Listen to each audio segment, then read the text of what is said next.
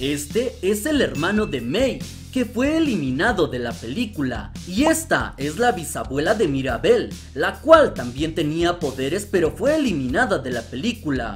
Y estos son 6 personajes eliminados de películas. La respuesta de la trivia anterior, ¿quién es mayor, mamá Coco o la abuela Alma Madrigal? Es que mamá Coco es mayor, ya que tiene más de 90 años, mientras que la abuela Alma solo tiene 75 años. Si respondiste la trivia te ganaste un saludo. Valentina, Magita Nijisu, Star Oliver, Gato Gamer, Bendy 323 y Bismar Mareño. Si quieres un saludo responde la trivia. ¿Quién ha vivido más tiempo bajo el agua? ¿La sirenita o Luca?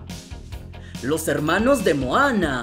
¿Qué me dirías si te digo que en un inicio se creía que Moana tuviera seis hermanos? Sí, son muchos, ¿verdad? No tienes llenadera tú de veras. Pues en las primeras ideas de la película se planeó que Moana tuviera una familia grande y además sus hermanos eran los que le enseñaban a navegar su barco. En esta versión de la película, Moana era muy competitiva y muy talentosa para navegar. También en la historia, los hermanos de Moana se perdían en el mar y ahí iniciaba la aventura de Moana al tratar de rescatarlos. Al final Disney decidió eliminar a estos personajes, ya que querían que la película se centrara más en el crecimiento de Moana y en ver cómo se empoderaba y salvaba a toda la isla sin que algún personaje masculino tuviera que salvarla. ¿Qué te parece? ¿Te hubiera gustado ver a sus hermanos? Dímelo en los comentarios.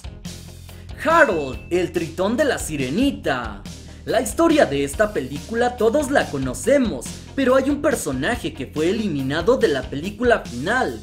Era un tritón llamado Harold. Este personaje fue creado para mostrar lo malo que era Úrsula. Tengo miedo, tengo miedo, Pero al final decidieron eliminarlo de la película. En la historia de Harold, él visitaba a Úrsula para que lo convirtiera en un tritón guapo y musculoso, y Úrsula le concedía su deseo con una condición, que le trajera un lirio. Y después de que Harold buscó y buscó por todo el reino, no pudo encontrar el lirio, así que regresó con Úrsula para pedirle más tiempo, pero Úrsula le dijo que no cumplió con su parte del trato, así que ya sabía que tendría un castigo, y Úrsula lo terminó convirtiendo en una criatura marina horrible. Al final decidieron que este personaje era innecesario y su historia solo alargaba la película, así que decidieron quitarlo. Espera un momento, ¿te está gustando este video? ¿Ya le diste like? ¿No?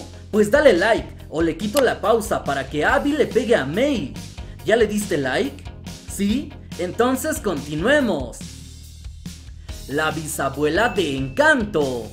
Esta película iba a ser muy diferente a la que vimos. Isabela tendría un novio al que miraba a escondidas, pero el personaje que hubiera cambiado toda la película y que nos hubiera gustado ver es la bisabuela de la familia Madrigal, Mamá Rosa, madre de Pedro Madrigal.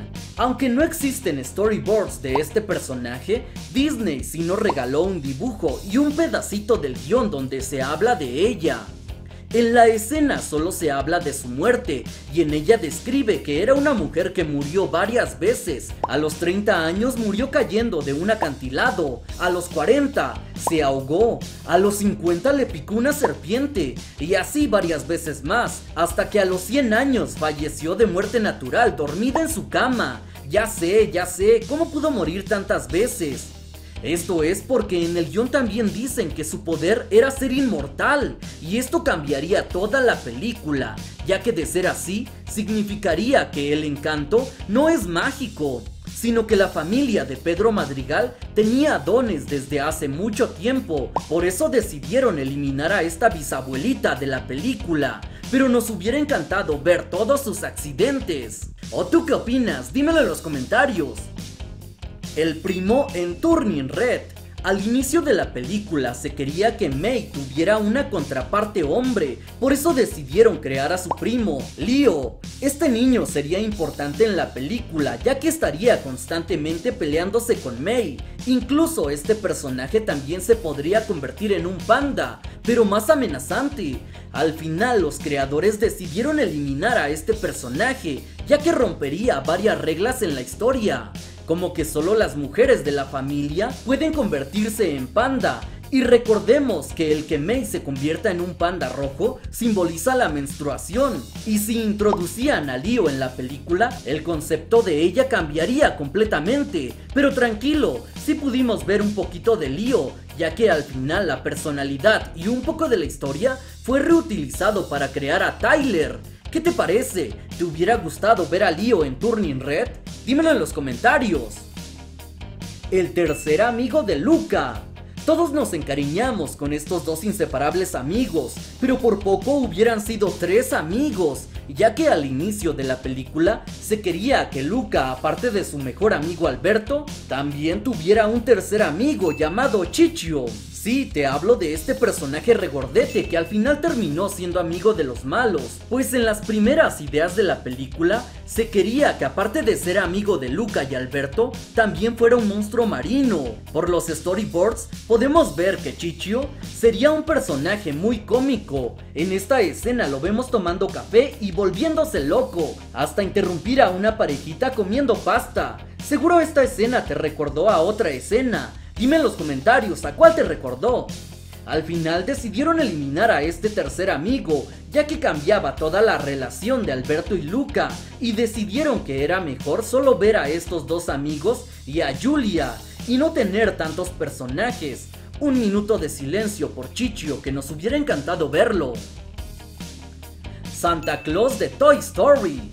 No sé ustedes, pero a mí me dieron miedo los muñecos que aparecen en Toy Story 4 pero al parecer había más personajes tenebrosos en esta película. Los directores han dicho que crearon un personaje basado en Santa Claus, que también vivía en la tienda de antigüedades. Al parecer este personaje llevaba mucho tiempo en esta tienda de antigüedades, por ello ya no era un santa feliz y se había vuelto perverso y pesimista, que vivía en lo más oscuro de la tienda y siempre mencionaba, es la temporada de la desesperación, pero si apretaba su botón te podía cantar Jingle Bell Rock, aunque no le agradaba que tocaran su botón. Este personaje era uno de los favoritos del estudio, pero al final decidieron eliminarlo, ya que la película había quedado muy larga y decidieron eliminar escenas y personajes para que fuera más corta. ¿Te hubiera gustado ver a este Santa perverso? Si quieres un saludo en el siguiente video, contesta, ¿quién ha vivido más tiempo? Si quieres un saludo en el siguiente video, contesta la trivia. ¿Quién ha vivido más tiempo bajo el agua? ¿Ariel de la Sirenita o Luca? Si te ha gustado el video, dale like, suscríbete. Yo soy Santiago y nos oímos en el próximo video.